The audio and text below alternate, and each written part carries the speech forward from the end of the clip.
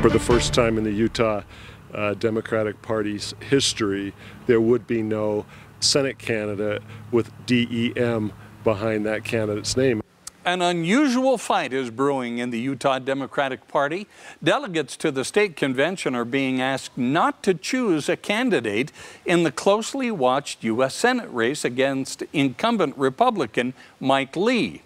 Fox 13 News political reporter Ben Winslow explains what they are being asked to do instead.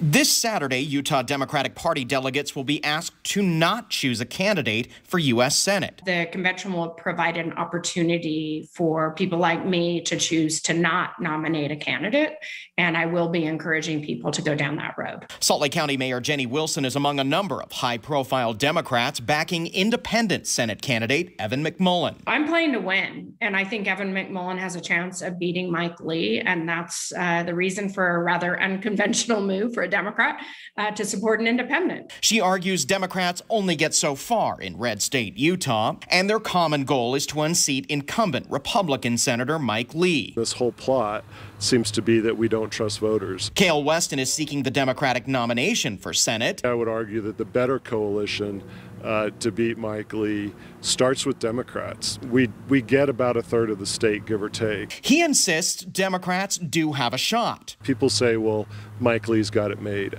I think these incredibly anti-democratic text messages that have just come out, where Mike Lee is literally asking uh, the, the White House what to say, has new voters focused on why we need to to get beyond Mike Lee. We're uniting a strong coalition of Democrats, Republicans, and independents who want to replace Senator Mike Lee, who believe that we can do better as a state. McMullin says he supports the idea of Democrats not choosing a candidate. We're divided between Democrats, independents, and principled Republicans.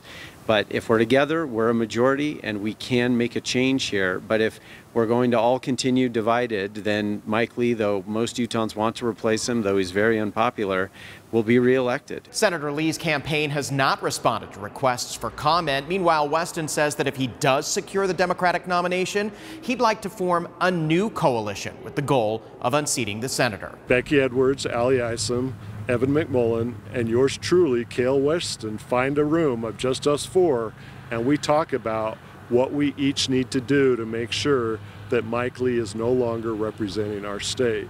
Whether the other candidates are willing to do that, who knows? McMullin says the coalition is already being built. We're very proud of, of the cross partisan coalition that we're building. Ben Winslow, Fox 13 News, Utah.